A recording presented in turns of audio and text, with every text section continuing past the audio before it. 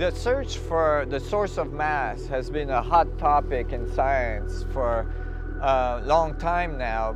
The understanding on how mass is generated in the universe could lead to all sorts of incredible developments technologically and uh, philosophically and theoretically.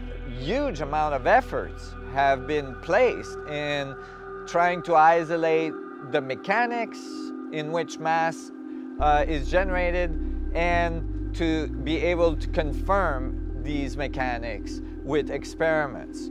According to what I have found, mass is actually the energy generated by the Planck vacuum fluctuation, by these electromagnetic little Planck oscillators in the structure of space-time itself as it spins and as it co-rotate in a structured way, in a collective way, creating an energy event that we identify in space as energy or mass. And that becomes the base of our reality. We see an atom and we say, oh, here is something and here is energy or mass. Or we see a galaxy and we say, here is something and here is mass energy.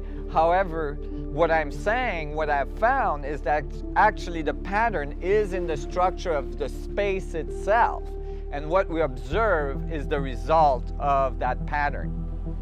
The profound significance of finding the source of mass is critical because it has an impact directly in us understanding the source of reality, everything around us, energy, gravity, and so on.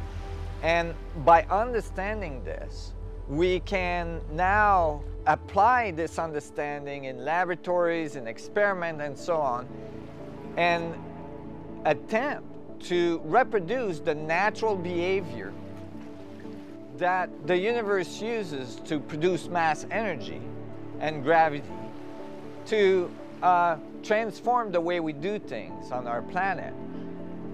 And most importantly, these findings show directly that mass energy, all of reality, emerges from these fluctuations of the vacuum, these little Planck oscillators fluctuating everywhere around us, and that that is the source of reality, the source of mass energy.